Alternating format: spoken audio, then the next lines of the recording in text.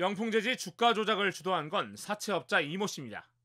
대한금속이 영풍재지를 인수할 때 명동 사채시장 자금을 끌어들였습니다. 범행 과정을 잘 아는 업계 관계자는 이 씨의 범죄 수익금이 최소 천억 원이라고 말했습니다. 본인 입으로는 2천억 정도.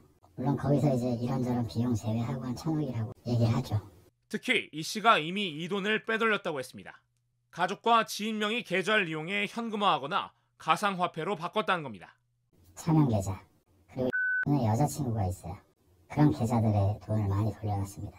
그리고 가상화폐도 적극적으로 활용하죠. 테더 같은 화폐, 비트코인 같은 화폐.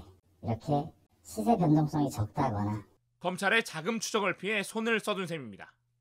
외국으로 도피했을 때 용이하죠. 뭐거 필요 없이 네. 그런 이유입니다. 추적도 상당히 어렵고요. 이 씨는 현재 사채 시장 브로커 등의 도움을 받아 한 달 넘게 도피하고 있습니다. 도피 중에도 여동생을 통해 지난달 구속된 매제 윤모 씨와 수사 상황도 논의한 것으로 알려졌습니다. 검찰은 이 씨의 도피를 도운 정모 씨 등 주가 조작 연루자 8명을 구속했지만 이 씨의 소재지는 아직 파악하지 못하고 있습니다. 검찰은 이 씨를 뒤쫓는 한편 대한금속 실소유주 공모 씨에 대한 소환 조사도 검토하고 있는 걸로 알려졌습니다. JTBC 박준호입니다.